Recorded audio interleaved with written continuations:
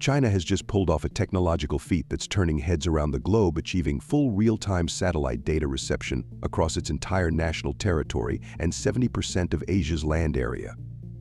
This isn't just another headline.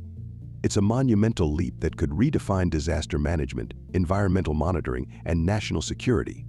How did China build this extensive satellite network, and why is it such a big deal? In this video, we'll uncover the evolution of China's satellite ground stations, explore the transformative power of real-time data, and discuss the far-reaching implications of this achievement.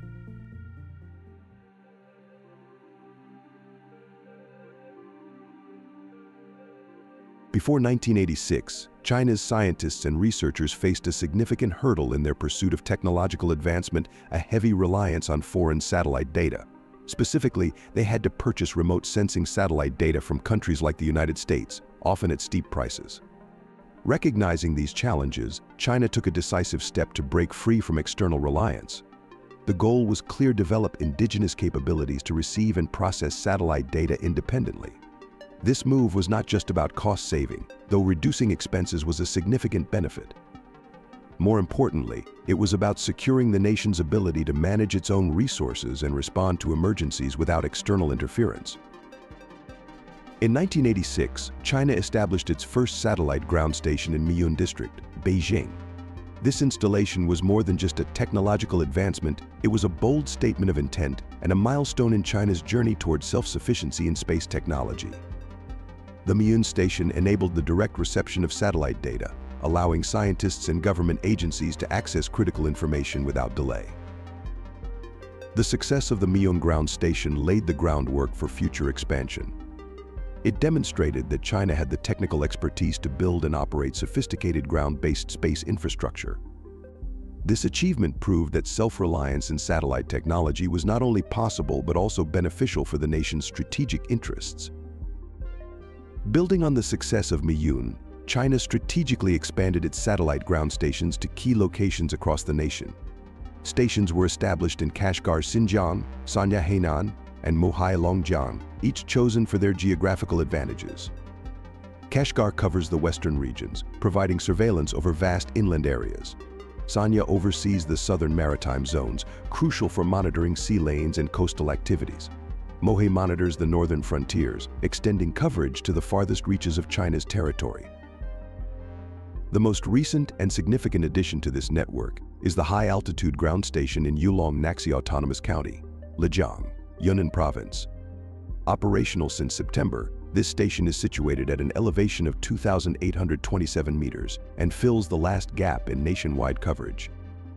The Lijiang station extends China's real-time satellite data reception capabilities, ensuring that the entire national territory and over 70% of Asia's land area are now under its surveillance network. By integrating the Lijiang station into its network, China has achieved a comprehensive satellite ground station system that covers all four cardinal directions. The network now forms a robust infrastructure capable of supporting various applications, from disaster monitoring to environmental research.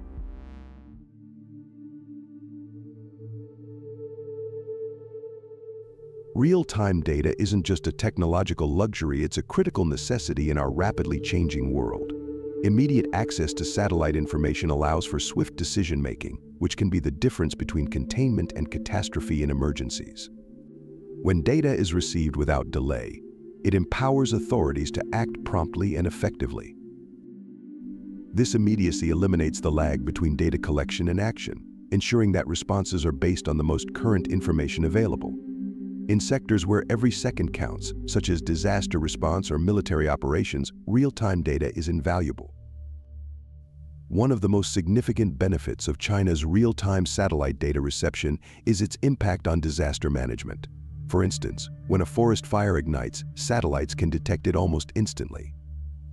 With real-time data transmission, this information reaches firefighting units without delay, allowing for immediate deployment of resources to contain the blaze before it spreads.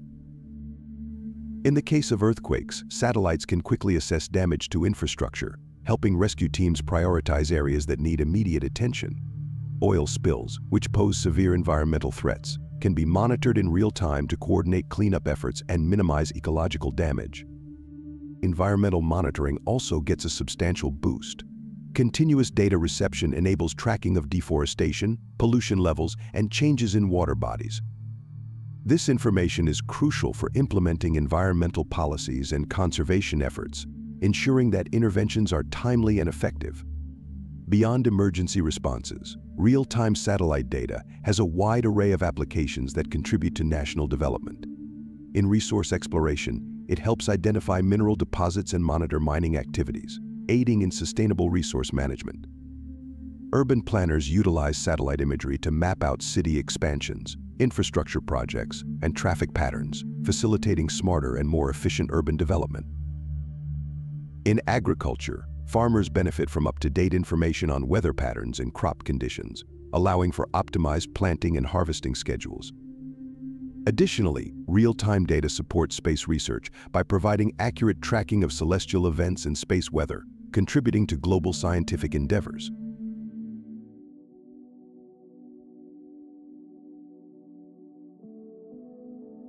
Achieving full control over satellite ground station technology means China now holds complete intellectual property rights in this domain. This independence fosters an environment ripe for innovation, as researchers and engineers can develop and modify technologies without external restrictions. It encourages homegrown solutions tailored to China's specific needs and challenges. Owning the technology outright also reduces costs associated with licensing and purchasing from foreign entities.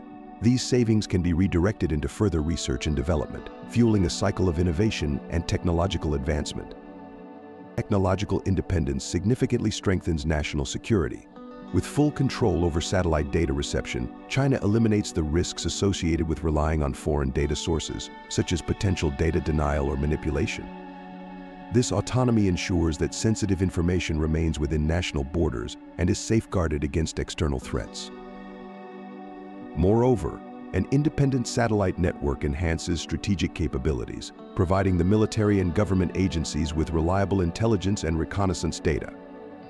It reinforces sovereignty by demonstrating self-reliance in critical technological infrastructure, bolstering China's position on the global stage.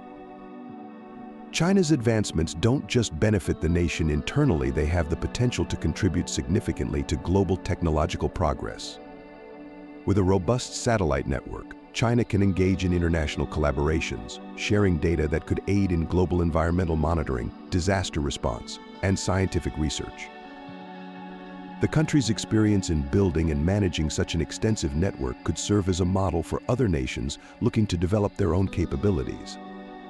By participating in global initiatives and possibly offering satellite data services to other countries, China positions itself as a key player in international efforts to address worldwide challenges.